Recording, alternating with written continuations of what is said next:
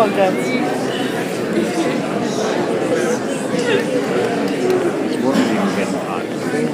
so happy to be here. Good evening, everyone. Thanks a lot for coming out tonight on this rainy, windy Wednesday night. Our guest tonight is an American songwriter, composer, and singer known worldwide as a master of his trade. His songs have been recorded by artists such as Glen Campbell, Art Garfunkel, Linda Ronstadt, James Taylor, Elvis Presley, Frank Sinatra, Waylon Jennings, Cassandra Wilson. Uh, you get the idea. Everybody. He's the only artist ever to have received Grammy Awards for music, lyrics, There he is. and orchestration. He was the youngest man ever inducted into the National Songwriters Hall of Fame, an organization he currently acts as chairman emeritus. His music has connected with millions of people around the world, and his songs are part of the cultural fabric of America. Ladies and gentlemen, please welcome Jimmy Webb.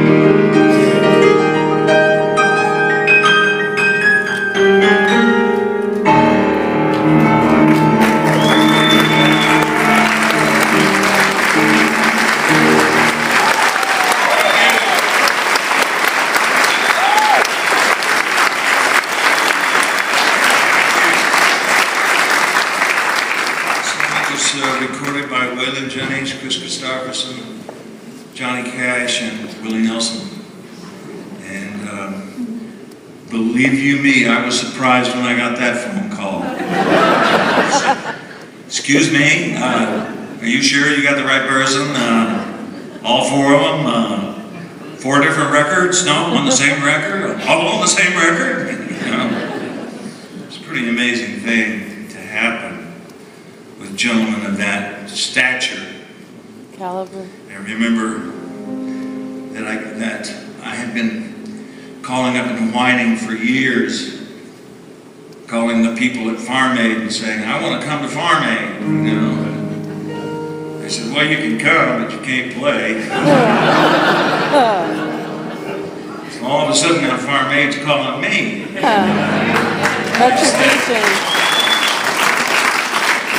They said, well, we, we want you to come, but you still can't play. so I went and I had my backstage pass in Irving Stadium, 65,000 people and these great big television screens on both sides that would, as big as this wall here in this fabulous theater. Um, and these screens were like focused in on every little error or lapse of judgment that you had ever made in your entire life. Secrets that you thought were well hidden were suddenly exposed to 60. And so um, I'm walking around back there and I think I'm taking it all in. I'm saying, big show, big show. I'm Bruce Hornsby playing the piano. And all of a sudden, Willie Nelson materializes in front of me in a cloud of smoke. Go figure.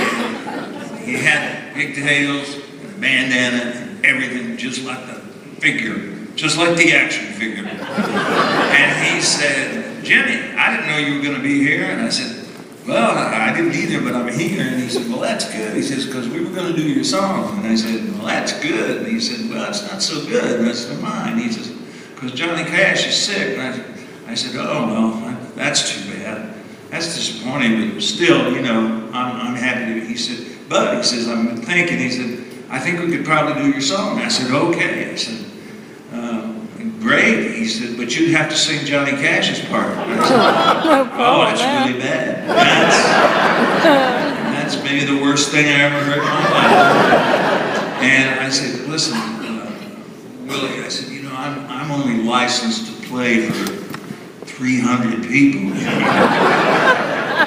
I could, I could get, I could have, have my license revoked. I could, you know, be thrown out of show business. You know, I, he said, hell, Jimmy. He says, you're wearing black. He said, just go out there and they'll think you're Johnny Cash. Oh, jeez. I still keep picturing this couple, you know, Maud and Ralph from like Idaho someplace like that.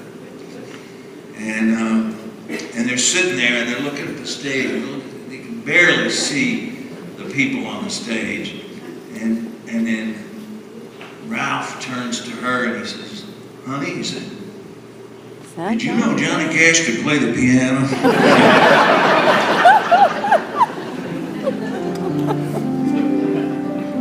Probably was right. But for a little while that day, ladies and gentlemen, I was a highwayman.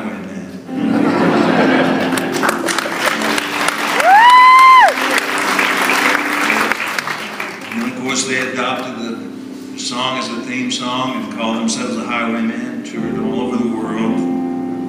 Every once in a while, I'd see the bus go by. There are pictures on it. Whoosh. And I'd go, boy, I'd love to be on that bus smoking all that weed with you.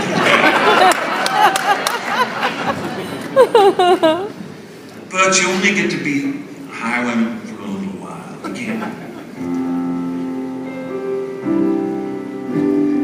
I'd like to No, he's gonna play. do pretty close to the beginning of the show and, and dedicate it to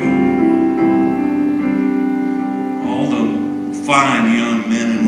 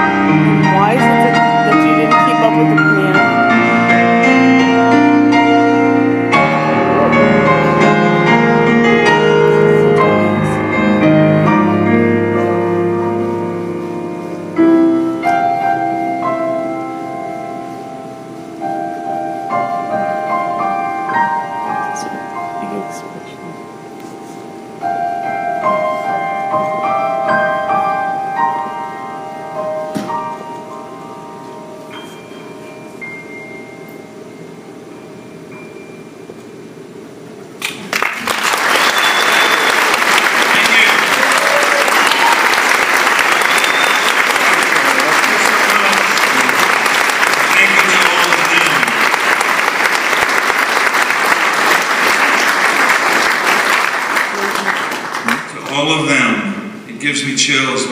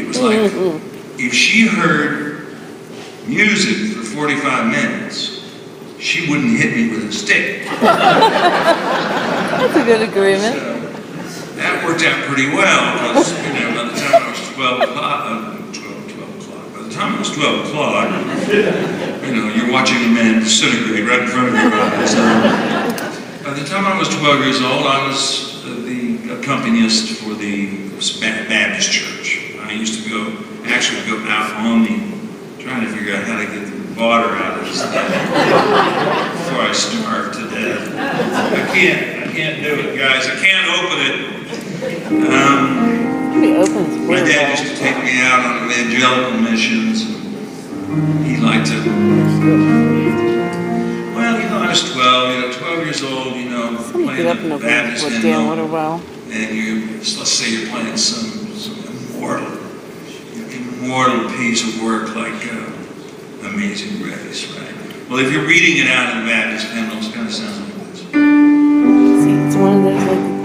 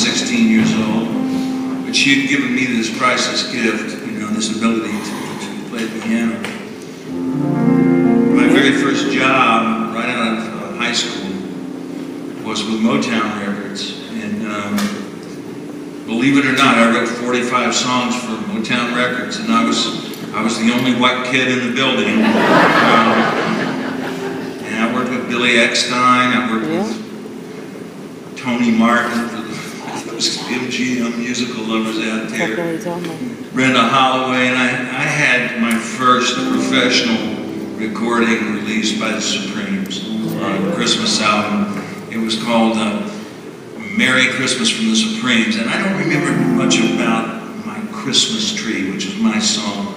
My Christmas tree was no threat to white Christmas. I, I, can, I can remember a little bit of it, it's sort of like, oh, my Christmas tree isn't very big. In fact, it's kinda small. And then kind of went downhill.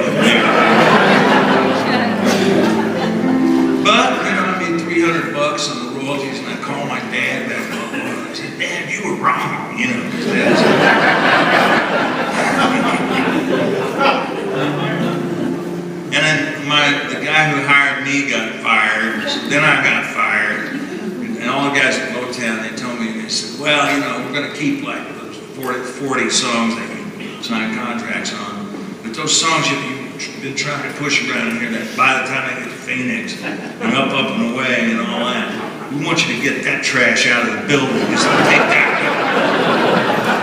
Especially that by the time I get to Phoenix, oh God, what a stinker that is. See, they didn't want to get those songs near their other songs because they corrupt them or something. And I went over to Johnny Rivers Music. The first time Johnny Rivers Music heard by the time Johnny, Johnny Rivers, Secret Agent Man, actually put out an album with, uh, by the time I get to Phoenix, in, in, including this one. How can you tell me how much you miss me?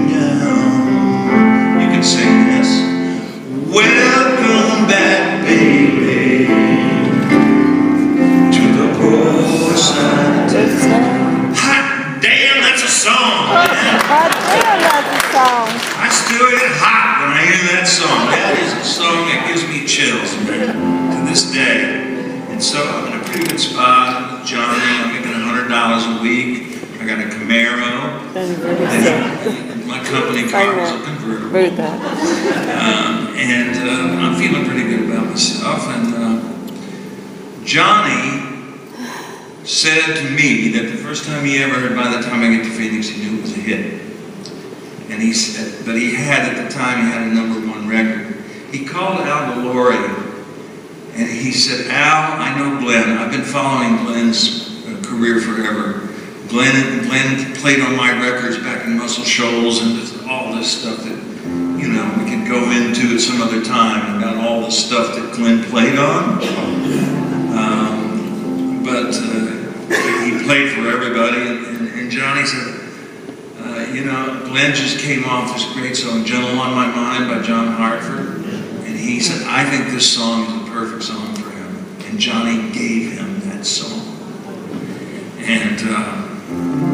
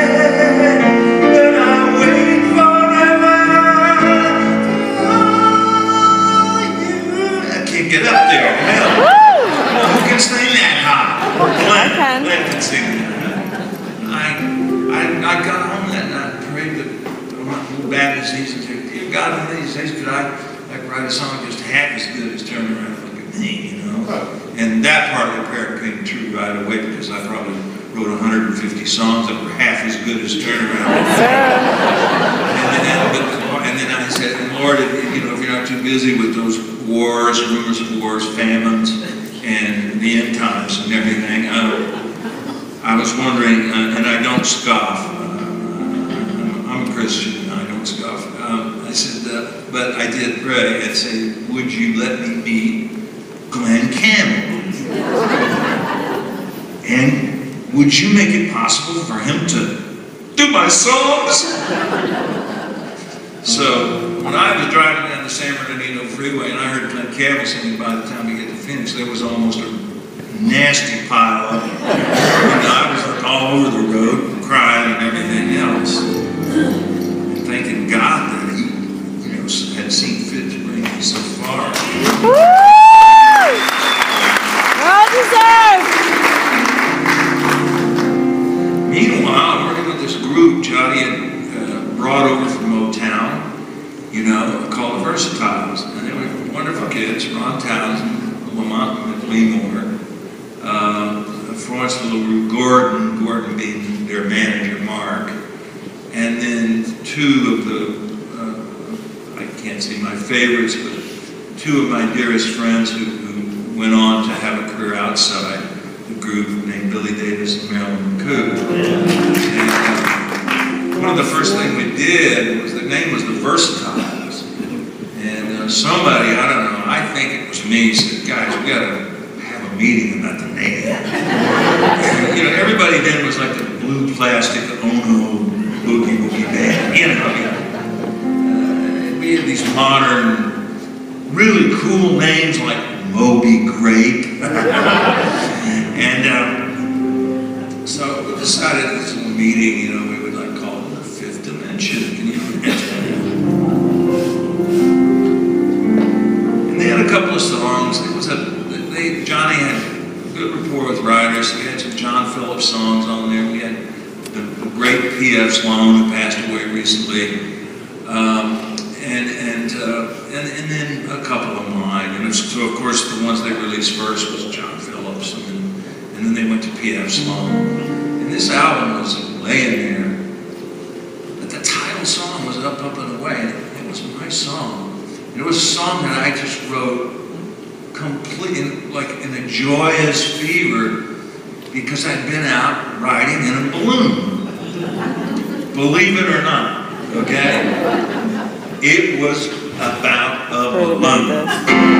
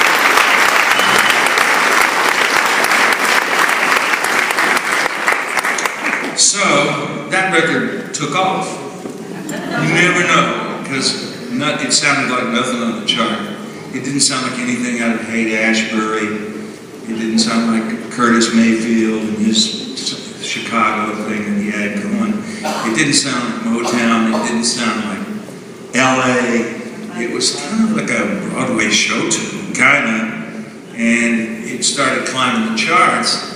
And um, we were doing pretty good there for a while. All of a sudden, like my um,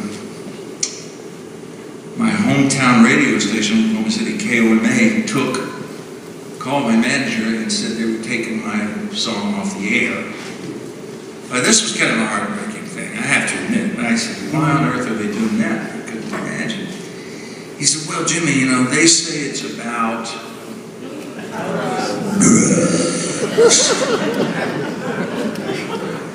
And um, I cried a little bit, you know, because it was it was my dream after all, and and it wasn't true. And uh, I called my father, he was pastoring a church in Cheyenne, Oklahoma, and I, I you know, my dad had this had this uh, tick from the service. I could get to answer your your sentences. Would finish your sentences before you could finish them. And I said, hey, Dad, uh, I said, I just wanted to call you and let you know I'm having a little trouble with my record. and I said, yeah, Dad, uh, looks like, you know, they're, uh, they're going to stop playing my song. and I said, yeah, Dad. I said, but that's not the worst part. I, I didn't want you to hear in the papers or on television that, you know, but they're going to say some bad things. They're going to say that the song is about drugs. And I said, yeah. And he said, well, we'll see about that. And up the phone like that. Went out, took, got his Bible and his 45, got in his pickup, and drove down to Oklahoma City. And drove up to KOMA, which is just, a, just an old house out in the middle of the field. ladies and gentlemen. Oh, There were no metal detectors. There was no Kevlar, no Kevlar, you know, there were no SIG, you know, 262s there, anything like that. You. You could just, anybody could walk into a radio station. Imagine doing that today? Just about that for a minute. Because you'd probably get maybe killed, I don't know. Uh, but uh, he walked in and he said, I want to see the program director. He didn't point the gun at them. Uh, but they got, I would say, a very serious impression of him. And uh, they brought out the program director and they went in the conference room.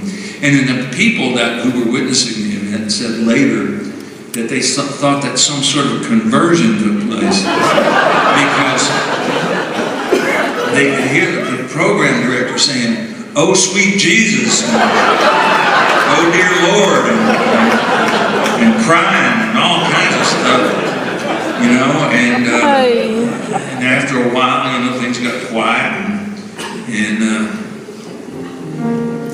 my dad came walking out of there, and program director came a little sheepish about five or ten minutes later. I'll it away. Now that's the kind of a old man you gotta have.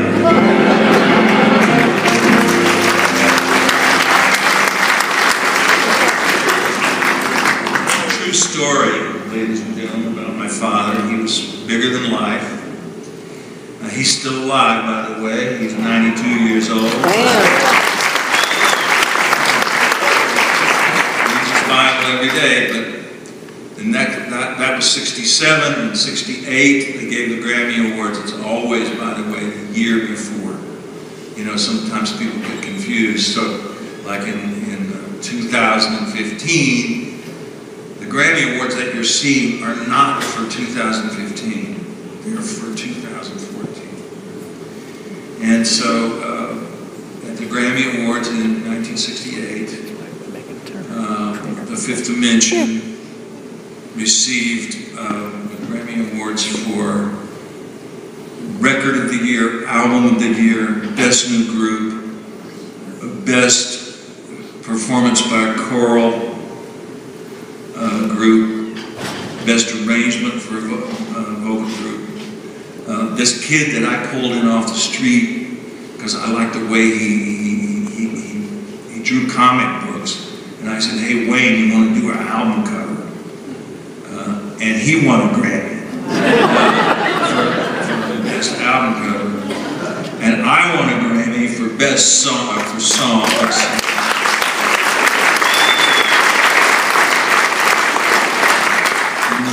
Producers won a, a Grammy for Record of the Year and Album of the Year.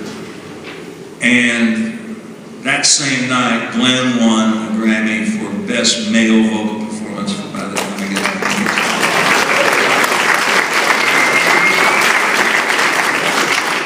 Here. All because of my dad.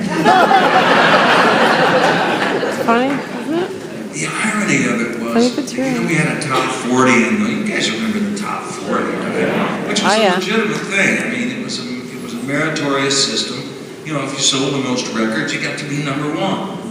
And so it was, and so it was down the line to number 40. And that week, of all of the 40 records that were on the chart, the only record that was not about drugs was up on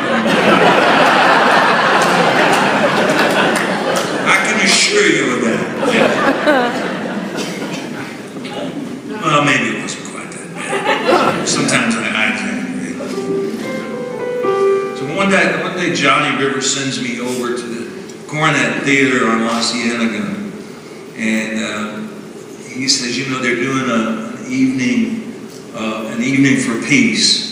And he says, you know, uh, Edward G. Robinson's going to be there. and, uh, Walter First, Pidgeon, sorry. uh, Jean Simmons, Charlton, no, not Charlton Heston, he wasn't. Uh, but a lot of stars were there. It was a star-studded evening, and I just kind of sit in the back like I was at a funeral or a wedding or something, and played the piano for these different poems and things that were read. And the director of the thing was this crazy Irish guy named Richard Harris. And he was like, he was like swinging around the stage on ropes, you know, the platform, the platform. He was into some kind of a, I don't know, anti-plot type of thing that was going on. Um, but he and I used to go out after rehearsals because we rehearsed this thing for a couple of weeks. And uh, he started offering me a drink, and I started taking one every once in a while. You know, I was, I was a beer drinker. It gets really hard to get through college without drinking a couple of beers, and I'd had a couple of beers. But I'd never met anybody like this before. You know? And uh, he would say, ah, Jimmy Rabbit, because he always called me Jimmy, and he always, he always called me, he never, let me put it this way, he never called me Jimmy, and he never called me Webb, but he always called me Jimmy Webb. and he said, ah, Jimmy Webb, we'll have to go out tonight after rehearsal, and, and we'll have to have some black velvets. And um, I had no idea what a freaking black velvet was. But we went out and I found out quickly that a black velvet was half Guinness and half champagne. And I found out that about four of those would put you flat on your back, kind of trying to not to drown, you know, in the waves that keep knocking you down. And we got to be pretty good buddies, and sometimes we're in these kind of uh, very, very affectionate moods because of the liquor and the camaraderie of doing a show together. It's a big thing, people. You know that? Doing a show together is like, it's a special bond. And um, he, one night I said to him, I put my arm around him and said, hey, Richard, you know, we ought to make a record. You know? Well, I said that to everybody. And you know,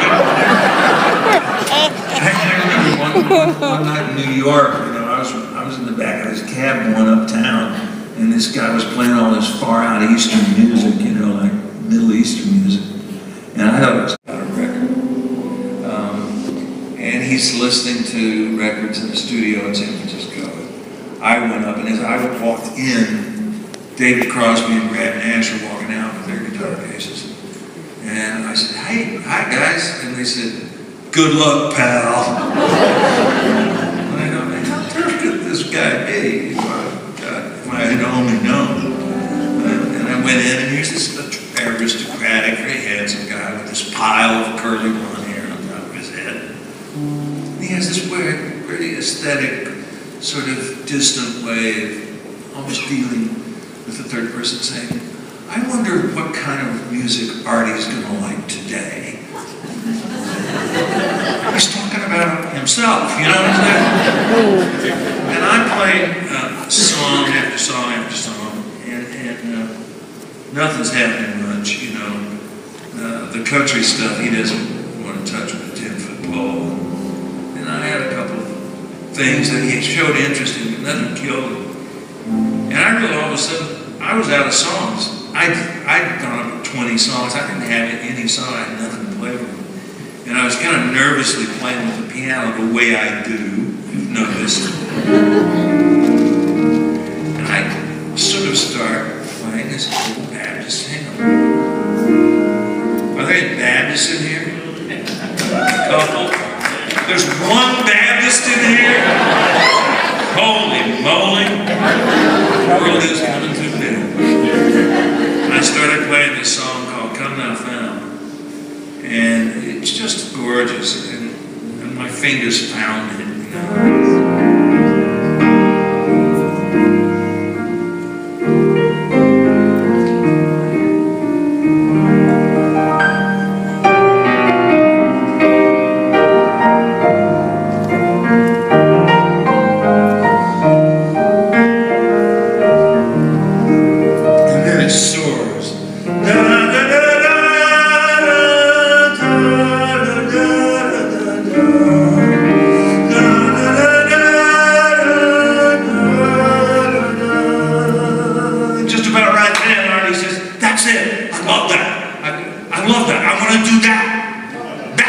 That, that right there, that's what I want to do. And I'm like, oh. And I said, uh, uh, well, uh, and, and, inside all this, and I'm thinking, well, he's Jewish, you know. and then I thought, I've stolen one of Jesus's.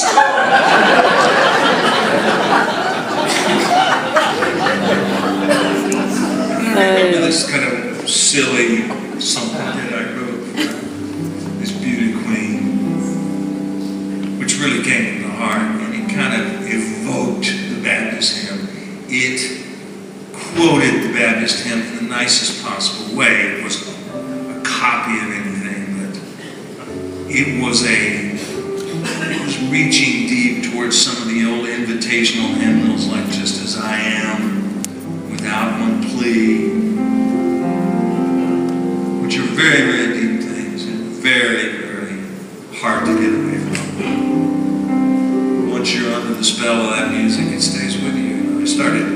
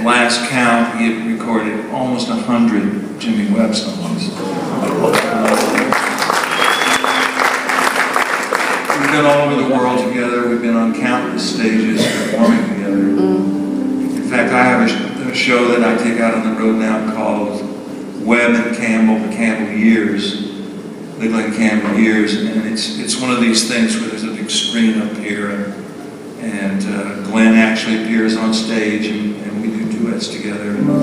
And it is meant simply as a tribute. And so maybe you should come see that sometime, because I'm not going to spend a lot of time on on uh, on this whole episode with the Alzheimer's tonight. But I do want to say that the last couple of years of Glen's life are the proudest years of my life. Just to know him, just to have him around me, just to see him deal with us. and the family, the way the family closed ranks, and the way they put a face on Alzheimer's everybody to see. And that's why my concert at uh, Carnegie Hall next year, it's my 70th birthday concert, is dedicated to Glen, and uh, the proceeds will go to the Alzheimer's Association of America. And if you want to, if you want to get your tickets and your hotel rooms, well, maybe you should start working on that. But uh, Glen would go out with stage four Alzheimer's and play a whole show, you know, which was impossible. I had a lot of medical people scratching their heads and going, he shouldn't be able to do that, you know.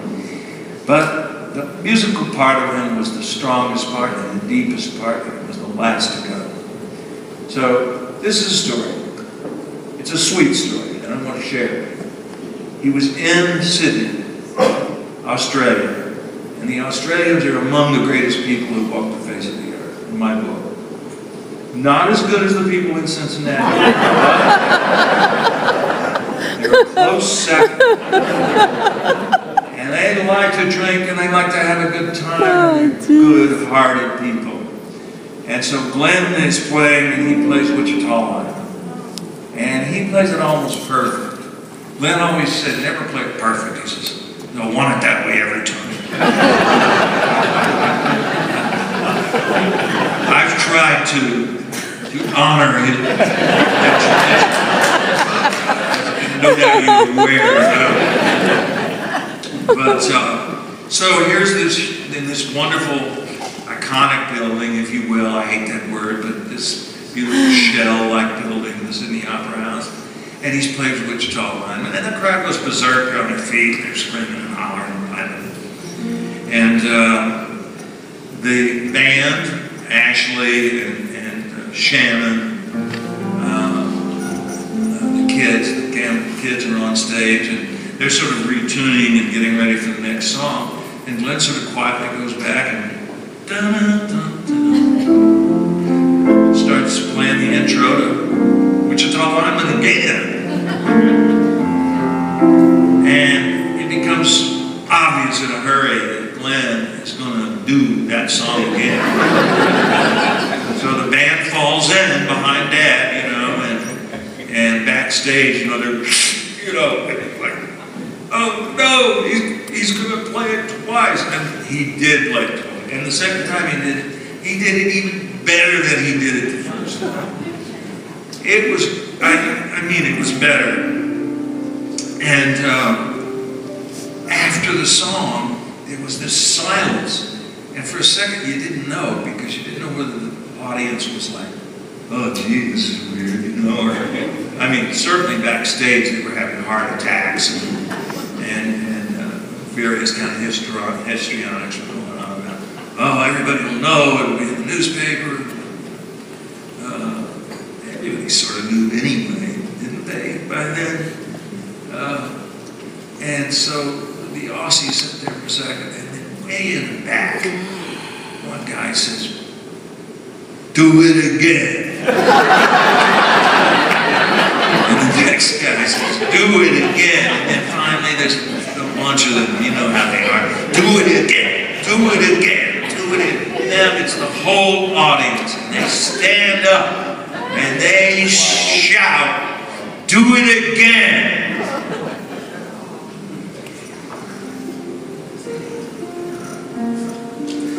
That's why I love them so much, so much.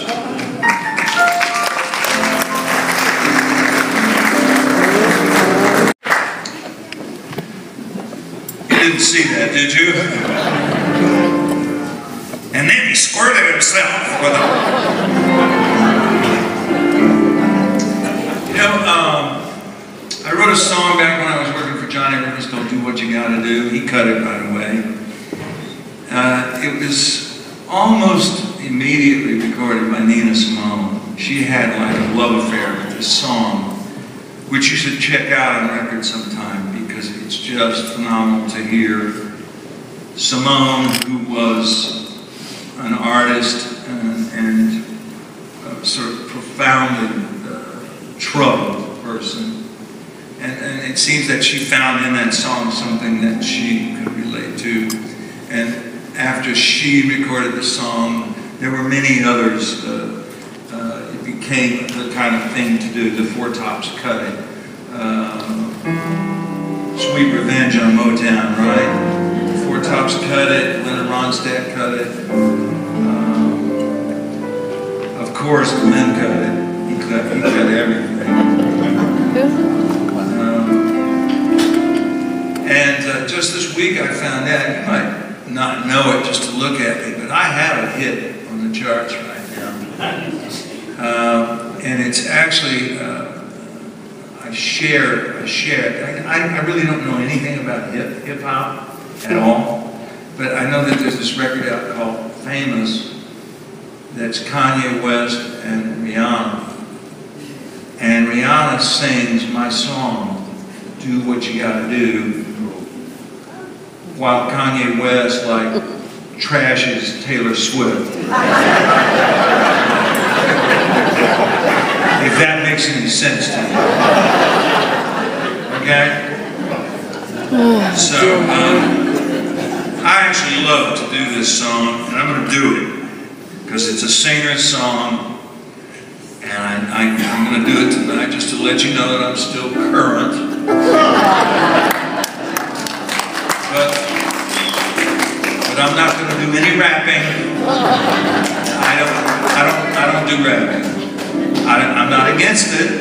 I'm not against it. I, I really, I'm not. It's a mode of expression.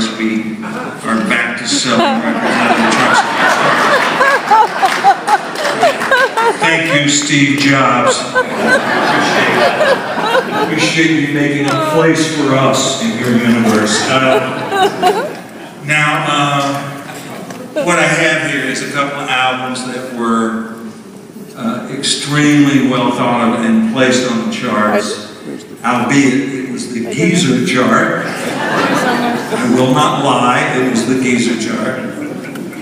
But uh, they're brother and sister albums, they were done with uh, musicians like Jerry Douglas and, and, uh, Gill and people like that. And uh, the first one was called Just Across the River. And uh, I'll thank you, those of you who've heard it. And that's, that's the name of the new song that I go for. Billy Joel sang by the uh, Wichita Lineman on it. Vince Gill and I did a song together. Lucinda Williams and I uh, did uh, Galveston. Willie Nelson was on the record. Jackson Browne sang P.F. Sloan. Mark Knopfler came, Knopfler came in and played guitar. Linda Ronstadt's last performances on that album. She never sang it. She sang beautifully, and then she never sang again. And the only, the only recording ever in the history of Glen and I singing together, and there may be some very good reasons for that, uh, but Glen and I did, uh, by the time we got to Phoenix, on Just Across the River. And then uh, there was some demand to, to do another record. And we did uh, uh, Still Within the Sound of My Voice, which is a top Mm, 10 beautiful. single for Glen and I. Um, and my guests on that album were Carly Simon, Lyle Lovett, Keith Urban, Joe Cocker, the great Marc Cohn, Walking in Memphis, Silver Thunderbird, Love Marc, uh, David Crosby, David Crosby, Graham Nash, old buddies of mine. And I also got the, the, uh, uh, the, uh, oh my God, I'm having a senior moment here, but, uh, uh, who, who used to sing background for Elvis? Uh, The Jordanaires. I got the Jordanaires back together. They were all like 80 years old. Their hair was flying. They came to the studio and they, they sang, Gotta they made that first chord. It sounded like the damn Jordanaires. You know what I mean? So they're on there on a song called Elvis and Me, which is, I, I knew Elvis a little bit. So um, those are out there along with uh, some other odds and ends. Uh, Ten Easy Pieces is out there for those of you who may have heard of that record. Um, uh, a lady just came up and she was uh, very emotional about uh, my friend Harry Nilsson, I, rarely get through a show without doing, doing some sort of a little bit on Harry. But uh, she asked me to do something, so briefly I'm just going to do a little thing. In fact, maybe I'll just do this song. Harry recorded this song. It was about an old Spanish house where I used to live out in the valley. It was built by Alice, it was built by Phil, Phil, um, who, was the guy who played the bear in? It was built by Phil Harris for Alice Faye. And, uh, and he sold it